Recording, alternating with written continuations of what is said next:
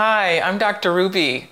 Welcome to the Veggie Chest, where healthy food is easy and delicious. And today we're making one of my favorites. I always say that because I only make my favorite foods. So we're making spaghetti squash with a marinara sauce. And the difference about this one is it's all raw. I've been really liking to incorporate lots more raw food in my diet. So you'll see a lot of raw recipes. This is the spaghetti squash. You could also use this recipe um, very much the same as you would cooked. The only difference is you would go ahead and bake this and then scrape out the insides, uh, similar to what I'm going to do right now. So the first thing you want to do is just get all the guts out of the squash.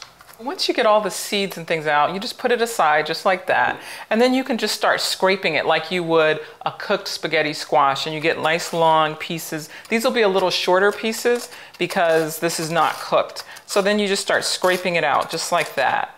Now you could use a mandolin like I did and just cut it into large slices and um, use your julienne blade on a thin setting and then it comes out just like this and it's very easy to do um, when you have a mandolin.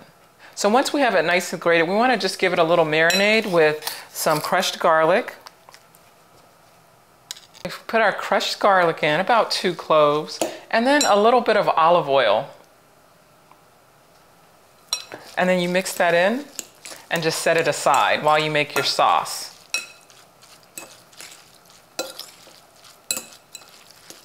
So now onto our sauce. First we're going to add about two to three um, Roma tomatoes depending on how much sauce you're making. Um, and you can use uh, sun-dried tomatoes. You need sun-dried tomatoes, but you can either use the sun-dried tomatoes that are packed in olive oil or you can use um, the dry ones. If you're going to use the dried ones that are not packed, you want to rehydrate them in some warm water first. I'm using the olive oil ones because I like they they also have flavored with rosemary, so it adds a lot of good flavor um, to the sauce. And you really don't need much additional olive oil because it already has it there.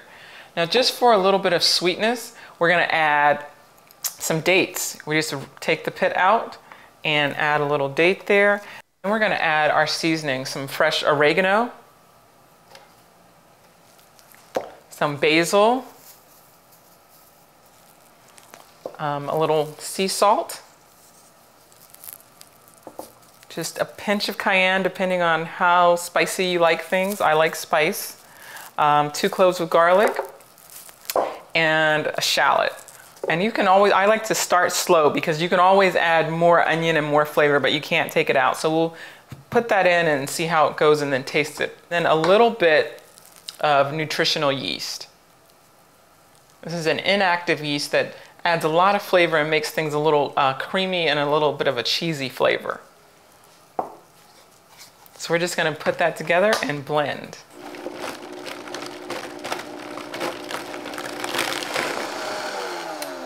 All right, so now we're all done with the blending. And we are just going to take this sauce and pour it right over our spaghetti squash.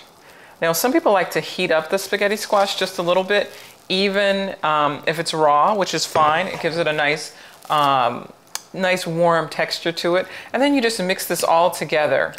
Um, just like that. It smells delicious. You add a little more spaghetti squash so you have enough there and, and you're done. So there you have it, a delicious spaghetti squash with marinara sauce, all raw, full of delicious enzymes, life, and energy. So just try your own variation, whether you do cooked or raw, but give it a try, and I hope you enjoy it like I'm about to. So thank you for joining me on this episode of The Veggie Chest, where healthy food is easy and delicious.